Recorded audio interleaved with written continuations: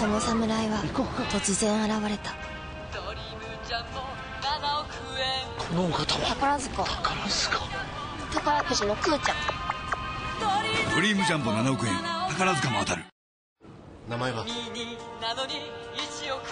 宝塚。この人さタイムスリップだよきっと。くのいちか。何言ってんの？こお主忍びか。ドリームジャンボミニ1億円。宝塚も当たる。